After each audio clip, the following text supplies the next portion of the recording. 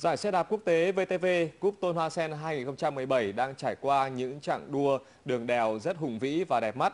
Và trong phần sắc màu thể thao ngày hôm nay chúng tôi muốn dành thời lượng để quý vị và các bạn một lần nữa được uh, chiêm ngưỡng những màn uh, đua rất đẹp mắt và hấp dẫn của các cua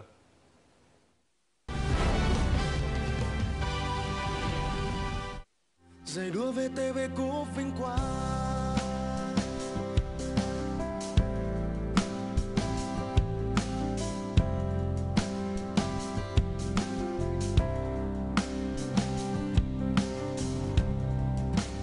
phát lướt đi nơi thủ đô. Thanh thang đi qua sư thanh vào nghệ an. Hà tĩnh vẫy tay đón chào.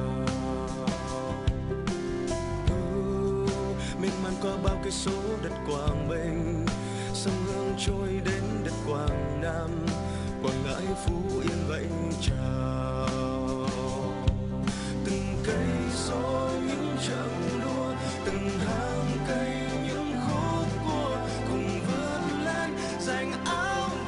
天堂